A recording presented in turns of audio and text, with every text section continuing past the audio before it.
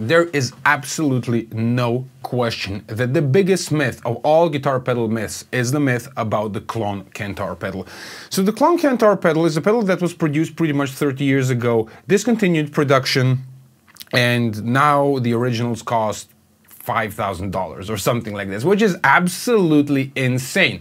Now, a lot of companies create clones of the Klon Centaur, and every company is saying that they do the right thing, that their clone sounds exactly like the old ones and whatnot. And we have a bunch of YouTube videos on the comparisons and people arguing in the comments, but that's not what I'm going to talk about today. What I'm going to talk about today is actually a very cheap and easy way how you can mod pretty much any clone of a Klon Centaur circuit and get very, very close to the old ones.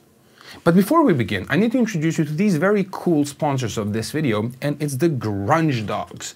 Now, the Grunge Dogs are really cool, and the Hard Rock Dogs are not as cool as the Grunge Dogs. Now, in the presence of Grunge Dogs, I would like to tell you about the Slightly Technical Academy, which you can find at slightlytechnicalacademy.com. It is a place where you can learn stuff like this especially about the Klon Centaur because I'm preparing some really cool things on this exact topic. And there are also some free Tonex packs and there's some knowledge over there which is for free because you can register for free. So go check that out, visit the Slightly Technical Academy and smash that like button if you like this content and subscribe to the channel. Now, that being said, let's move on with the topic. Okay, so every company is saying that they would have the magic combination of components that's going to magically create uh, the original Klon Centaur. Well, let's be perfectly honest. Everything in a circuit matters, especially in an audio circuit. Everything, absolutely everything matters. But let's be also fair. Some components matter more than other components. And a component that is very, very important in a circuit like this, it is the germanium diode, actually the germanium diodes used for clipping the signal. Now, germanium diodes are sort of rare today. You can find them, but they're not really popular because germanium is pretty much an obsolete component. So let's take a look at where these diodes are in the circuit. So here in the circuit, you can see the diodes pretty much in the center of the circuit.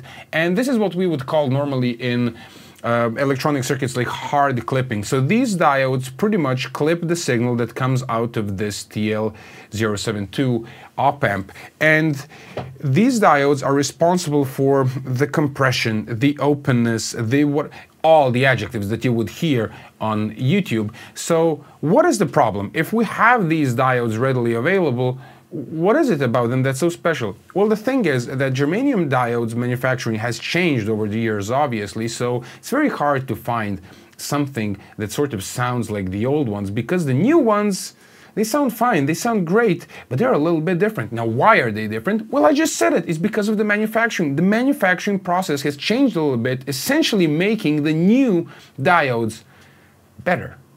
But what is better about them? So I'll be quick about this, all right? So this is the diode, this little guy, all right? This little guy over here, I hope you can see it, this amazing diode. Now, diodes have different characteristics and different models of diodes have different characteristics, obviously, but there is one thing that is very important about them and it's something called the forward voltage drop. Very hard to pronounce. So the voltage drop of the diode, of a germanium diode, is normally like 0.2. Everybody knows that, but not all people know that older germanium diodes actually had a bigger voltage drop. So older diodes would have like a voltage drop of like 0.35 in the range of from 0.3 to 0.4 and if you would use the same diode from like maybe 30, 40 years ago and the one that you use today, it would make the circuit sound quite a bit different. And pretty much that is the magical component that all the companies are talking about. So we have a problem that we don't have the old diodes. Oh, and by the way, don't buy the ones that you find on eBay because there are some sellers that would sell you like NOS um, diodes that have this uh, voltage drop I tried buying it and they're lying. Maybe you can find some, but it's very hard to find any. Now, there is a very simple fix. So what I'm gonna suggest you do is instead of buying two diodes to put in your Klon circuit, you're gonna buy four. You're going to buy four diodes, and instead of using one diode for clipping one side of the signal, you're going to use two of them in series. Because when you connect diodes in series, it will increase their voltage drop, basically increasing it if you take two diodes that are 0.2, increasing it to 0.4. I also found some diodes that would be like 0.18, and when you connect two in series, you would basically get 0.36.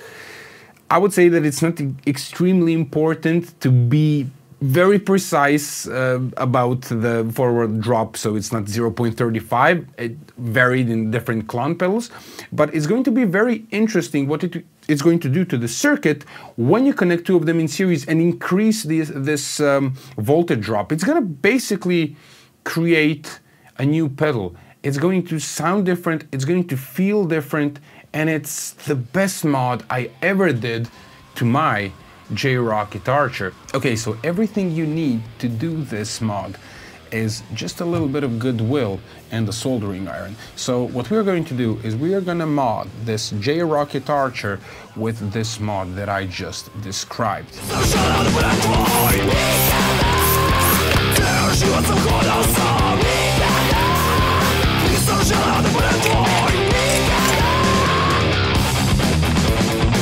So here, I hope you can see this, here you can see the diodes. They might look a little bit different, like a different color, but they usually come in a glass package. If you have a different pedal from the J-Rockett Archer, it's probably going to look a little bit different, but the diodes are going to look pretty much the same.